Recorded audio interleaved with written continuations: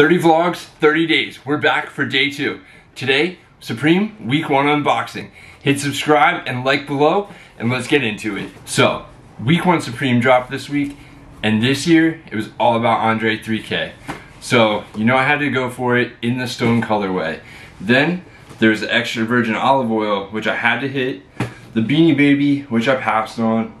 And I actually ordered a long sleeve shirt, which you know how they are. Sometimes they're good, sometimes they're bad. So, I did cut this open. So first up, look at the olive oil.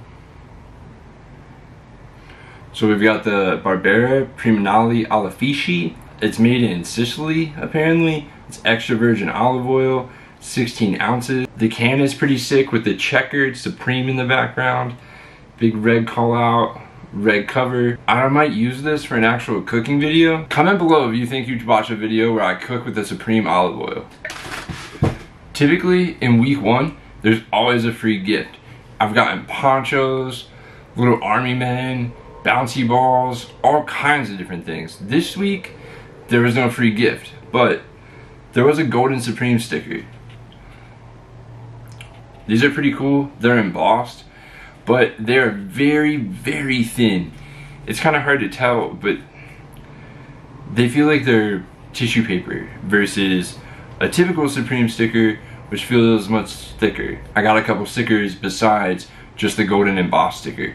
First up, we got the New York City trash sticker, and then the No Supreme sticker, and I think the best sticker out of all, which I don't know why I didn't cop this shirt, but the Catwoman Supreme sticker. This is fire. I think that this is one of the best designs that Supreme has come out with in the recent couple years. Now for the best part of week one, the Andre 3K shirt. I hate the large Andre 3K shirt in the stone colorway. This is what I think is gonna be like the color of the winter, is this nice tan color. I just picked up a Dennis Rodman sneaker con shirt two weeks ago when I was in Washington DC for SneakerCon where I met Dennis Rodman. I think this color is really clean. Stay tuned for tomorrow's video where we open the Nike Air Max 1 Pattas in that off-white grayish colorway. They're super clean. I'm very excited that I hit those. I'm very excited to get them in tomorrow.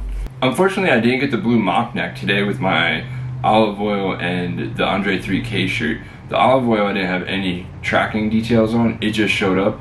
So I'm assuming the mock neck will eventually just show up as well. That's all in today's video. Thank you for watching. Go down below, hit like, subscribe, and leave a comment if you hit on week one or what you think the best pickups from week one the Supreme was. Stay tuned for tomorrow's video, which is the unboxing of the Air Max Pattas. That's it. Peace.